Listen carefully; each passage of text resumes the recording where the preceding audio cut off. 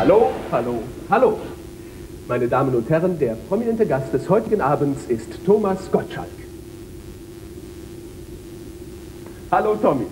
Haha, na? Wenn Sie sich jetzt etwas wundern sollten, meine Damen und Herren, die Lösung ist verblüffend einfach. Das ist Thomas Gottschalk vor 33 Jahren. Mensch, Tommy, wenn du wüsstest, was das für ein Schlüsselerlebnis für dich sein wird, was? so, jetzt aber ab ins Bett und keine Gummibärchen mehr, sonst fallen dir in 33 Jahren sämtliche Zähne aus, ja? Komm. Ja, das war's wieder für heute. Bis in vier Wochen, wenn es wieder heißt, der prominente Gast.